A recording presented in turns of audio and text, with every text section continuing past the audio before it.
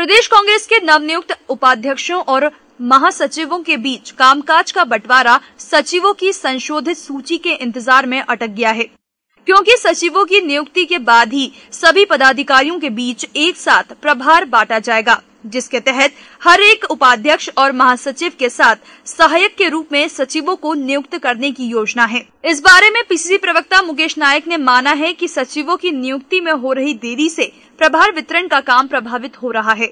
मुझे लगता है कि एक सप्ताह में सारे निर्णय हो जाएँगे।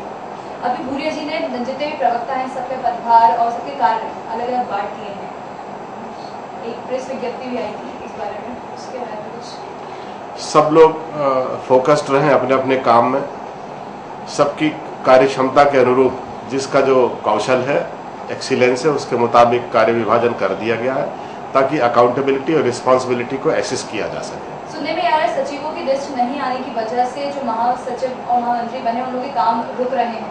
स्वाभाविक रूप से जो स्टेट ऑफ़िस बेरर है उनकी क्षमताओं को बढ़ाने के लिए एक एक सचिव उनके साथ संलग्न किया जाएगा।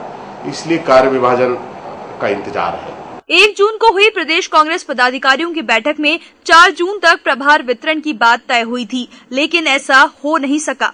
पार्टी सूत्र बताते हैं कि मौजूदा करीब चार दर्जन सचिवों के साथ करीब 10 से 12 नए सचिव नियुक्त किए जा सकते हैं, लेकिन इस सूची को अभी आला कमान ने हरी झंडी नहीं दी है।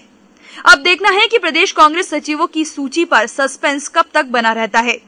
कैमरा पर्सन डेनी खान के साथ Vaishnavi Chaudhary EMS TV news Bhopal.